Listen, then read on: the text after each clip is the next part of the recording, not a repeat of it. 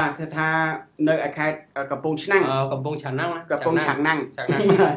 គឺថាគោយន្តដឹកឈើខុសច្បាប់ឆ្លងកាត់ស្រុកទឹកផុសក្នុងមួយថ្ងៃឬក៏មួយយប់មួយយប់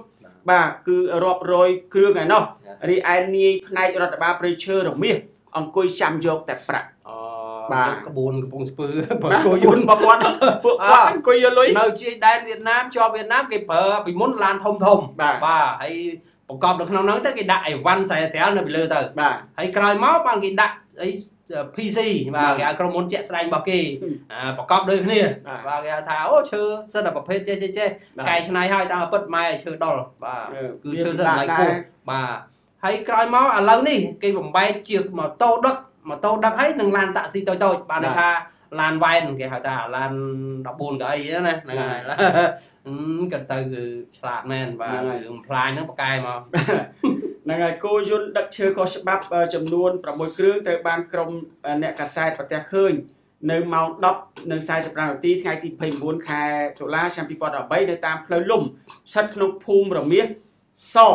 ចិត្តទីរួមស្រុកទឹកផុសហើយបានរាយការណ៍ទៅឲ្យផ្នែករដ្ឋបាលព្រៃឈើរមាសចាត់ការ ប៉ុន្តែមិនឃើញគេមកចាត់ការឡើយដែលសង្ស័យថាទទួល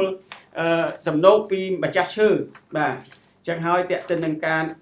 អឺរឿងនាំឈើចេញនេះ គឺថាក្រមអ្នកកសែតបានរាយការណ៍ជូនលោក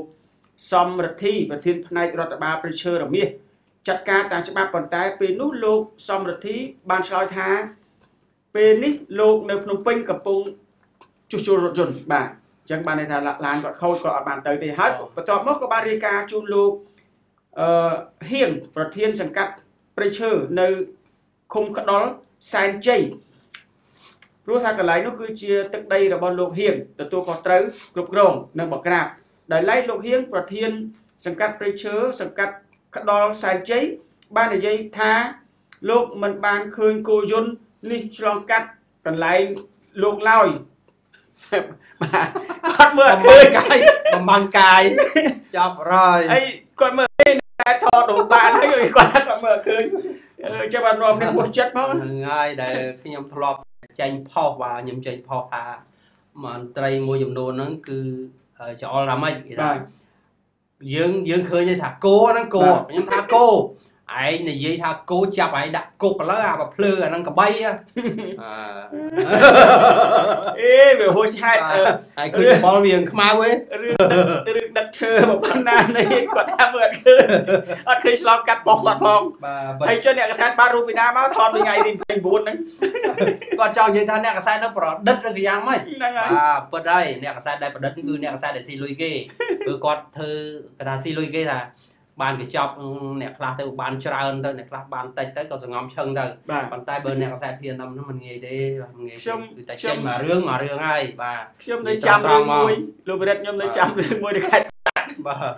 អឺអ្នករាយការណ៍យើងថាបងឃើញឈើឃើញគោយន្តដឹក ឈើមូលធំធំច្រើនណាឆ្លងកាត់តំបន់ហ្នឹងបាទដល់ពេលគាត់រាយការណ៍មកវិញគាត់គាត់គាត់រាយការណ៍បញ្ជាក់ប្រាប់អ្នកកសែតវិញណាបាទគាត់ថាអត់ទេអាហ្នឹងឈើគេធ្វើលបងតាឈើចន្លុកម្រេចឈើអីហ្នឹងណាគាត់គាត់ថាឈើទូចទូចទៅវិញបាគាត់គាត់ឃើញឈើនឹងបាទសំណាងហើយគាត់ឃើញឈើតែគាត់ថាទូចបាទប៉ុន្តែសម្រាប់មេរដ្ឋបាលនេះគាត់ថាអត់ឃើញហ្មងអេអត់ទាន់អាហ្នឹងហើយហ្នឹងគេថាអីអឺប្រហែលជាឃើញគាត់គាត់ឃើញឈើយ៉ាក់ថ្មិញណាបាទបាទគាត់ឈើឃើញឈើយ៉ាក់ថ្មិញគាត់ថាហឹម បើឈើយើយ៉ាក់ថ្មិញចាំបាច់និយាយធ្វើអីហ៎បាទថាអត់ឃើញមកហ្នឹងបើថាលោកសំរដ្ឋីចោះថាគាត់អឺមិនបាននៅកន្លែងនោះព្រោះគាត់ជាប់ឡានគាត់ខូចនៅពេញបាទបាទដល់ឡែកលោកអឺម្នាក់ទៀតហ្នឹងគាត់គាត់តែឆ្លើយថាអត់ឃើញឆ្លងកាត់ផងបាទនឹងចប់ហើយបើនិយាយរឿងឈ្មោះរដ្ឋីរដ្ឋីហ្នឹងមនុស្សគេហៅថាដូចជាប៉ុលពូចហ្នឹងមិនមិនអញ្ចឹងអីលឺអ្នកស្រុកហ្នឹងគាត់ប្រាប់ណាអ្នកស្រុកថាហ្នឹងហើយប៉ុលពូចហ្នឹងហ្នឹងបាទហើយព្រោះព័ត៌មានយើងបានពីអ្នកស្រុកបានហ្នឹងបាទបាទអ្នកស្រុកមកបាទ គាត់ថាអី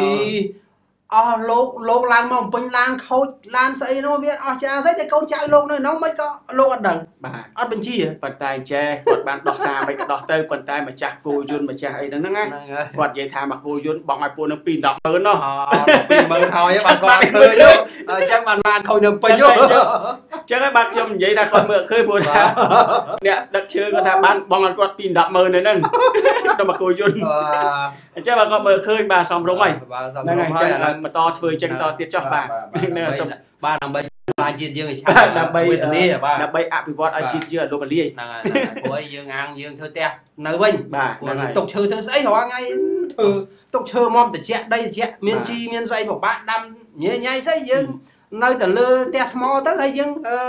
ចង់ដាំអីដាំលើផ្ទះថ្មទៅបាទបាទហ្នឹងហើយហើយថាអង្គមកខ្ជិលហូបអង្គខ្ជិលអីយើងយកជ័រកស៊ូដាំធ្វើជាបាយស៊ីទៅហេអើថាអភិវឌ្ឍឲ្យដល់កម្រិតអញ្ចឹងហើយអឺអស់លោកមន្ត្រីថ្នាក់ក្រោមជាតិហើយ